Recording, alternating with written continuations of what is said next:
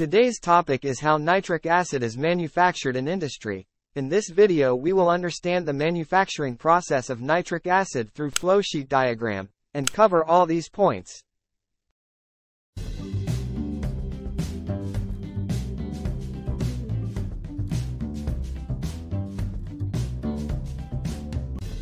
First of all we will know what is nitric acid. Nitric acid is a highly corrosive and strong mineral acid with the chemical formula HNO3.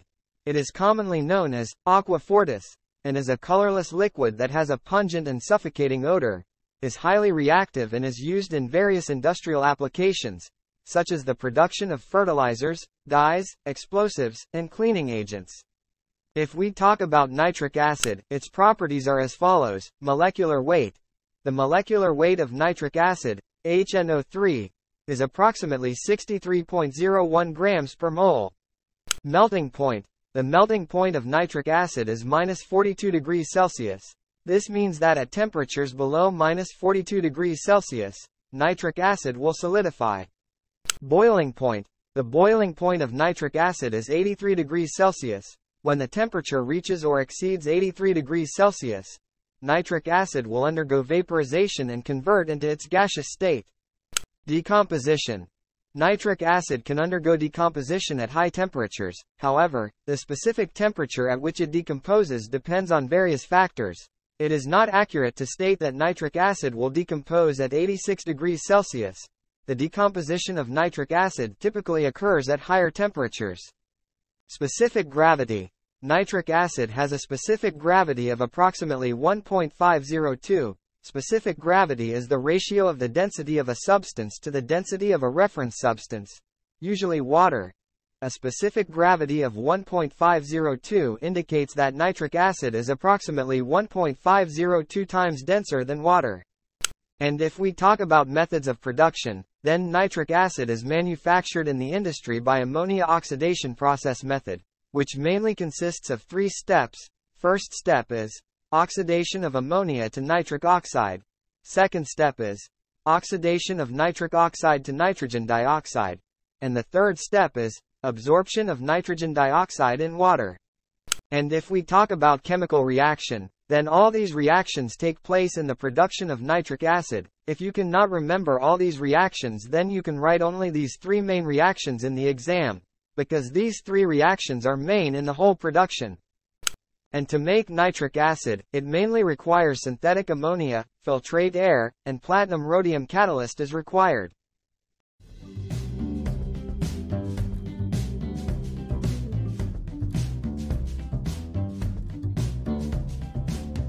First of all, we will learn about all the equipments used in the production of nitric acid and then, after that we will understand its working process step by step through diagram. This is an ammonia storage tanker, it contains synthetic ammonia inside. And this is the compressor, the process of compression is done by it. In the process the air is compressed by it. On one side of this compressor the turbine, and on the other side the expander is connected. The compressor is driven by the turbine, and the exhaust gas inside the compressor is driven out by the expander. And this is shell and tube reactor. This is mainly divided into converter section, superheater section and heat recovery boiler section. The converter section is on the tube side, and the superheater and heat recovery boiler section on the shell side. Inside it, there are 10 to 30 sheets of platinum and rhodium alloy, which act as a catalyst. If talk about mesh wire gauge size, then it is of 60 to 80 mesh wire gauge, which are inside the tube in the form of layers. And the contact of the gas with the plate is till the power of 2.5 times 10 minus 4 seconds, mean the gas comes down fast. And this is the superheater section, through this the heat energy is passed to the converter, and it also converts the saturated steam into supersaturated steam, which is used as process steam and turbine steam. It means whenever steam energy is required in the process, process steam will be used, and turbine steam is used to drive the turbine. And this is the heat recovery boiler section, by which heat energy is converted into steam energy. When ammonia and oxygen react with each other in the converter section, nitric oxide gas is formed.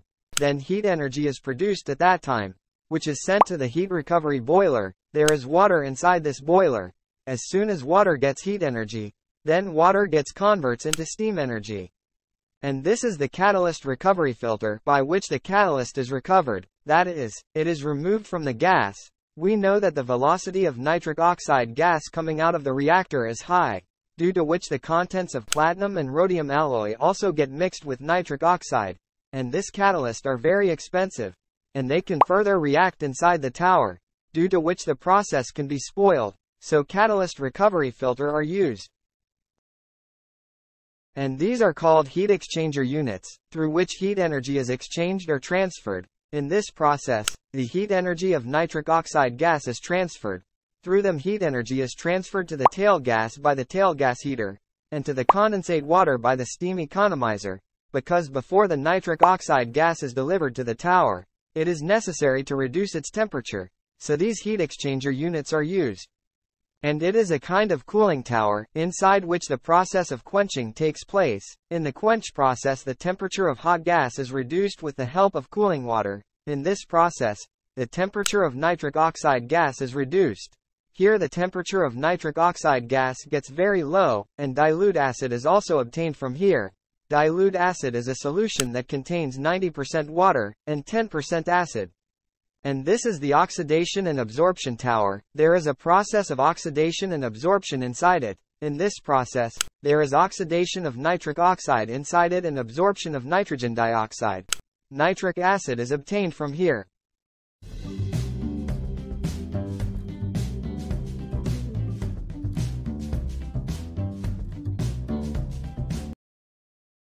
First of all, ammonia is sent from the ammonia storage and compressed air is sent from the compressor to the shell and tube reactor.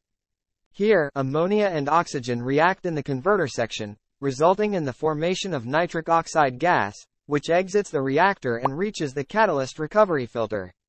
In the catalyst recovery filter, the platinum and rhodium catalyst components present in the nitric oxide gas are separated from the gas. The purified nitric oxide gas then proceeds to the heat exchanger unit. The heat exchanger unit is used in this process to transfer the heat energy of the nitric oxide gas to the tail gas and condensate water through the tail gas heater and steam economizer. This helps in reducing the temperature of the nitric oxide gas. The cooled nitric oxide gas is then sent to the cooling tower. The purpose of using a heat exchanger unit is to prevent the wastage of heat energy as heat energy is economically significant in the industry. Therefore, the tail gas heater and steam economizer are employed to make efficient use of the generated heat. Inside the cooling tower, the temperature of the nitric oxide gas is significantly reduced through the quenching process. The gas is then introduced into the tower along with air oxygen from the bottom section. The tower also receives a dilute acid solution consisting of 90% water and 10% acid, which is pumped into the tower from the top section. Within the tower, the process of oxidation and absorption takes place. Initially, nitric oxide and air react, resulting in the formation of nitrogen dioxide. Subsequently, nitrogen dioxide reacts with water, leading to the formation of nitric acid. The solution obtained from the tower contains 60% nitric acid.